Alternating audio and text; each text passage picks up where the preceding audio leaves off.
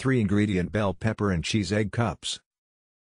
Ingredient checklist, 4 medium bell peppers, any color, 1 quarter teaspoon salt, divided, 1 quarter teaspoon ground pepper, divided, 8 large eggs, 1 quarter cup Mexican blend shredded cheese. Preheat oven to 400 degrees Fahrenheit.